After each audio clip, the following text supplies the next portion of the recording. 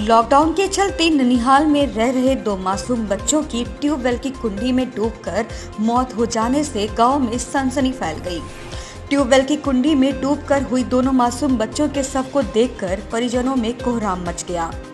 आपको बता दें घटना ज़िले के थाना कोतवाली हसायन क्षेत्र के गाँव गोपालपुर की है।